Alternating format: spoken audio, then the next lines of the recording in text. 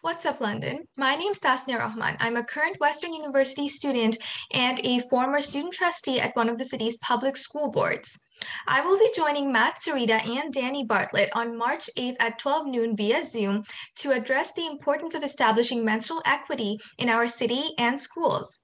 Join the discussion by signing up through the London Public Library website to share your stories and questions. Hope to see you there.